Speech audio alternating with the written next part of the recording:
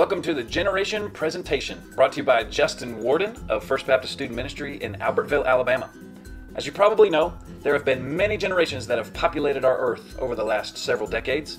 Their names include the GI generation, those born between 1900 and 1925, the Builders, or Silent generation, those born between 1925 and 1945, followed by the Baby Boomers, because of the increase in birth rates, those born between 1945 and 1963, followed by the Baby Busters, or Generation X, because of the decrease in birth rates, those born between 1963 and 1982.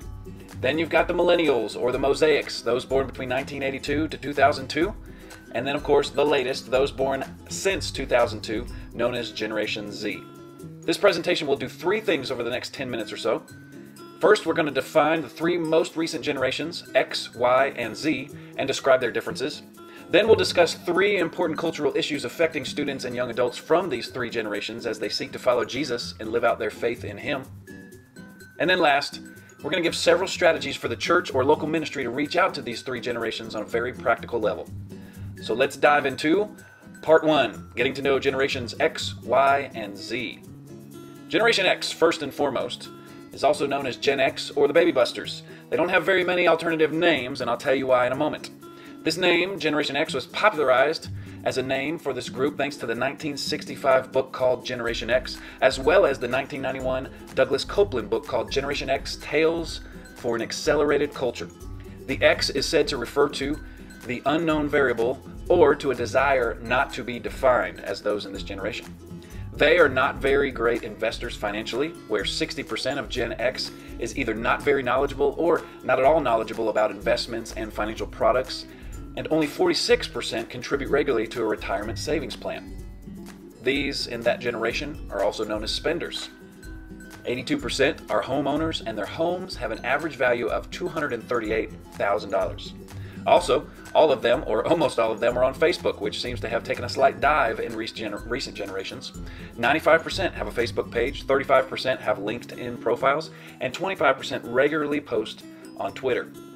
Many of Generation X were unsure about their futures at one time. 40% are working in a career they intended when they actually entered into the workforce.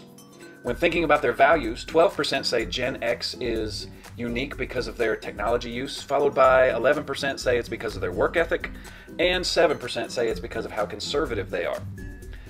DanSchawbel.com says this There are 45 million of them, and they are typically forgotten by the media despite their rising power in the workplace.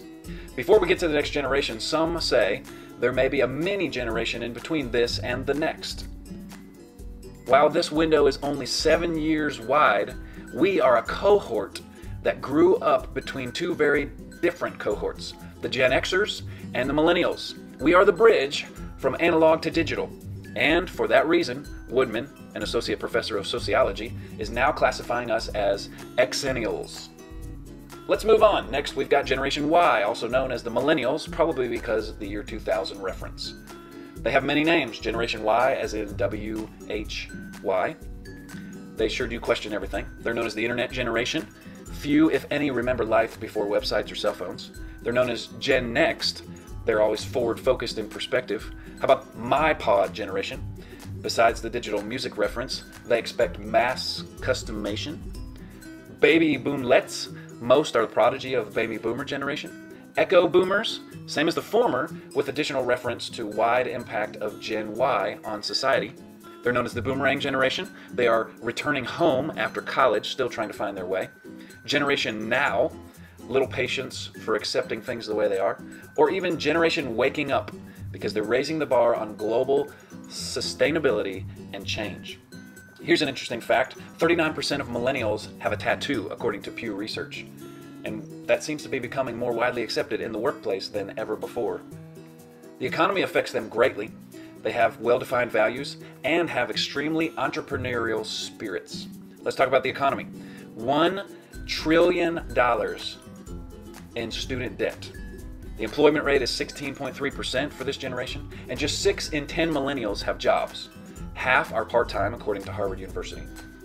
63% know someone who had to move back home because of the economy, and the median salary across Generation Y is about 39,700 a year. Speaking of money, 81% have donated money or goods or services, according to Walden University and Harris Interactive. 75% see themselves as authentic and are not willing to compromise their family and personal values. They're on track to become the most educated generation in American history. 44% of millennials say that marriage is becoming obsolete, compared to the 35% of boomers who felt that same way. There are those in this generation who are more tolerant of races and groups than any other generation, somewhere between 47% versus former generations, which were about 19%. Additionally, 35% of employed millennials have started their own business on the side to supplement their income. 90% say being an entrepreneur is a mindset instead of a role of a business owner. More than a quarter, 20, 27%, are already self employed, according to the U.S. Chamber of Commerce, and 84% of Gen Y, or millennials, are seeking advice about finance, according to Merrill Lynch. Finally, the new silent generation, or Generation Z, or Gen Z, or iGen, or Centennials, as they're known. Dan Schawbel says this While they haven't yet entered the workplace, they have a different set of values and beliefs than their predecessors. They were born during the financial meltdown and don't know a world without the internet. They will become the most entrepreneurial, conservative, diverse, and educated generation in the world. Let's talk about their values. 77% of Gen Z are either extremely or very interested in volunteering to gain work experience. 76% are concerned about man's impact on the planet. 90% of them would be upset if they had to give up their internet connection, while only 51% would give up eating and 56% would give up downloading music. As students, 55% of Gen Z students say that their parents are putting pressure on them to gain professional experience during high school. 80% of Gen Zs think that they are more driven than their peers, according to InternSushi. 50% of Gen Z will be university educated compared to the 33% of millennials and 25% of Gen X. They are entrepreneurs. Let's look at that. 72% of Gen Z wants to start a business someday. 71% expect to experience significant failure before achieving success, and nearly 40% say they see failure as an opportunity to try again. 38% say that they will invest in something that changes the world, according to a Gallup poll. 93% of parents say their Gen Z kids influence family spending decisions and household purchases. And let's talk about investing. Their top financial goals are buying a car, that's 33%, paying for education, that's 23%, and buying a house, that's 20%, according to a survey conducted by Visa. Now that we've come to understand their differences, let's look at their similarities. They all struggle, Gen X, Y, and Z, with leadership, morality, and what is known as the chemical revolution. What does this effect have on their faith in Christ? Welcome to part two, where we'll talk about the cultural issues that affect students following Jesus. There's three issues that are seriously affecting all three of these generations in the following ways.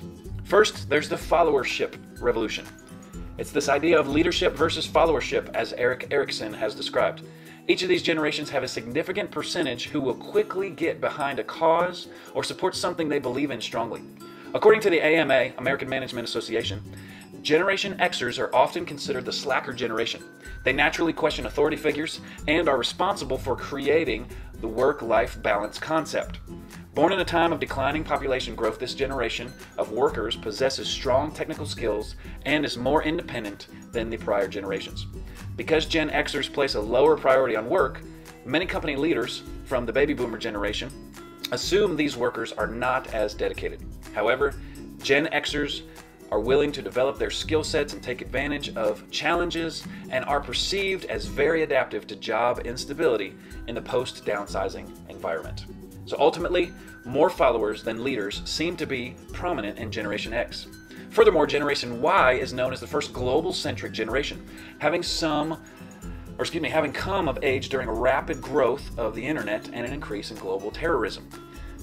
They are among the most resilient in navigating change while deepening their appreciation for diversity and inclusion. Because of the technology increase and educational availability, this generation will most likely be loaded with leaders more than followers. Lastly, it may be too soon to tell with the current generation of teenagers and young adults, Gen Z, but they are entering the workforce and all signs point to good things. According to Forbes, When asked, the Millennial and Gen Z survey respondents cited honesty, communication, approachability, confidence, and the willingness to be supportive as the key traits of a good leader.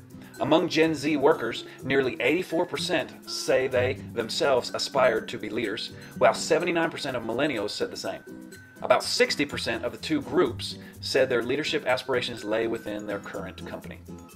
Second issue we'll discuss is the sexual revolution, which is measured by the greater diversity of moral standards, greater hedonism, decreased capacity and skills for true interpersonal intimacy, and a detachment from the physical and emotional connection. In Generation X, it's been said that most U.S. adults now say it is not necessary to believe in God to be moral or to have good values, 56% up from about half, 49%, who expressed this view in 2011, according to Pew Research Center. When it comes to sexual relationships during this generation, some say the impact of the internet has made a huge impact on privacy and intimacy. However, one impact on the sex life of Generation X women includes the relationship dynamics created between Generation X women whose earning potential and economic power has increased at the same time the earning expectations of Generation X men has decreased. Millennials are to be the ones to stop global warming, cure cancer, and solve most of the world's other problems. After all, the millennials helped elect Barack Obama, who championed hope and change. And when it comes to morality and sexual purity, it seems to be a thing of the past. According to Relevant Magazine, Seth Shaver says, I think our generation is more relationally minded than principle minded. Shaver adds, Sometimes principles get in the way of relationships. We haven't quite figured out how to hold on to our moral priorities and still respect those of others. And our generation wants relationships so badly that sometimes we'll throw everything else out to get it. What about the latest generation, Generation Z? According to PsychCentral.com, overall researchers discovered that after barely changing at all during the 1980s and 1990s, acceptance of premarital sex increased from 42% in 2000 to 58% in 2012. Acceptance of same sex sexual relations more than tripled from 13% in 1990 to 44% in 2012. Growing up not really knowing a time where there's been debate between gay and straight, or non gender specific bathrooms at Target, or the whole LGBTQ thing. Some theorize that these shifts in sexual attitudes and behavior are linked to the growing cultural individualism in the US. When the culture places more emphasis on the needs of the self and less on social rules, more relaxed attitudes towards sexuality are the almost inevitable result. And third issue, the chemical revolution, which includes the use of both illicit and legal drugs, prescription abuse, binge drinking, party games, ADD treatments and meds, steroids, birth control, etc., all chemical. According to drugabuse.com, throughout all four generations, the most recent generations, alcohol has been the most commonly used substance within the past year. At their peak, over 80% of millennials, Gen Xers, and boomers had used alcohol recently. For the boomers, 19 was the age during which alcohol was most frequently consumed, whereas Generation X and millennials peaked at age 22. Marijuana was the second most used drug of all these generations, but as you might expect from the emerging drug culture of the 1960s, boomers stand out from the pack. Boomers, millennials, and Gen Xers all saw their recent marijuana usage peak around ages 18 to 20, but the millennials and Gen Xers show a peak prominence about 30 to 35, and around 50% of boomers in that age group reported using marijuana within the past year.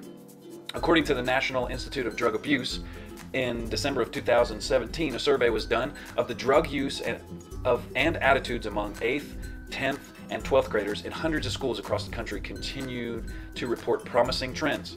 Within the past year, use of illicit drugs other than marijuana holding steady at its lowest levels in over two decades. 5.8% among 8th graders, 9.4% among 10th graders, and only 13.3% among 12th graders. And finally, now that we see the characteristics that define these generations, and we see the significant issues that plague these generations, what can we do as the church or a Christian ministry about it? Welcome to part three Church and Family Ministry Strategies for Discipleship, where I hope we'll talk about overcoming these issues and obstacles. There are three final words of advice or ministry tactics to help these students and young adults with the ever evolving issues discussed here. Number one, stop avoiding the topics that matter. Number two, connect students with mentors who can walk with them through this journey. And number three, study up to pray up and offer up. So, number one, stop avoiding the topics that matter. For too long, churches have avoided topics plaguing our culture, such as drug use, sex, and stepping up into leadership roles.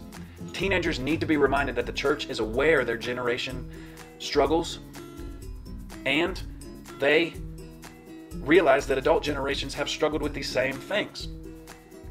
According to Adolescence Periodical, a study of over 80,000 middle and high school students revealed that parental sanctions against drug use, coupled with at least one significant talk about drugs, reduces teen drug use.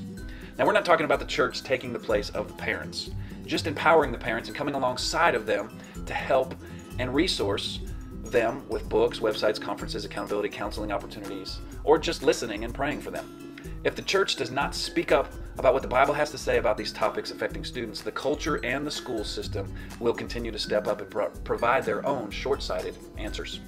Secondly, we need to connect students with mentors who can walk with them through this journey. One obvious observation in this study of the latest generations is how they have all become more and more self reliant. Other adults and even parents have become almost unnecessary to many of these students. Although it is unhealthy to see students learning to fend for themselves during this formative time of their teenage years, they need examples. They need godly adults to pour into them. In the new book, Parenting Beyond Your Capacity by Reggie Joiner and Carey Nieuwhof, they discuss this issue like this I, Carey, Always knew there was a passage into manhood that was supposed to take place, but I had no idea how it happened. My son Jordan and I talked about it, and when he turned 13, we set up what we referred to as his mentoring year. Early in the year, we sat down and selected five men in our relational circle that we both knew and felt comfortable with. I approached each man and explained what we were doing. The plan was fairly simple. I asked each mentor to spend one day, I asked each mentor to impart one spiritual truth something faith based, and I asked them to impart one life truth, just some good advice. I also checked calendars to make sure each mentor could make it for a dinner at my place after the summer was over. Jordan kept a journal over the summer. Five years later, I'm still amazed at the power that experience carried. A wider circle has incredible benefits that run in more directions than we might suspect. It became obvious to me as a pastor that other adults could and should have significant relationships with my kids. Understanding the impact some of those mentors had on my sons' lives inspired me to work towards a ministry style that would put weekly mentors in the lives of kids and students. A reminder of how important it is for the church and parents to partner. You see, students need adults. They need connections between older generations and younger. And they need to be made for a student to have a well rounded view of this world that they are growing up in and inheriting. Lastly, and most importantly, number three, we need to study up, to pray up, and offer up. If we are going to be able to accurately pray for these students and families as well as adequately offer up the best advice possible, we must study up on the culture they are currently living in.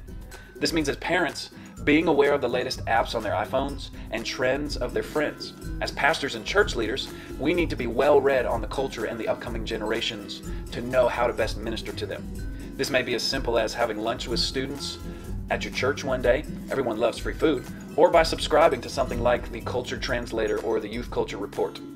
For example, we need to realize, according to Walt Mueller's Youth Culture 101 book, the emerging generation of teenagers is the wealthiest in history. So, we need to understand that they need a cause to believe in bigger than themselves as we instill financial responsibility and generosity into these students. Let's do our best to get to know them so we know how to pray for them and know how to offer relevant and well received advice to them. Study up, to pray up, and offer up. As a conclusion, so whether a student is from Generation X, Y, or Z, let's get to know these students and the issues that plague their generation and minister to them as best as possible. After all, if we can teach any generation to love God and obey His commandments, then and only then will that generation truly experience God's love. In Deuteronomy chapter 5 verse 10, God says, But I lavish unfailing love for a thousand generations on those who love me and obey my commandments. Amen and amen.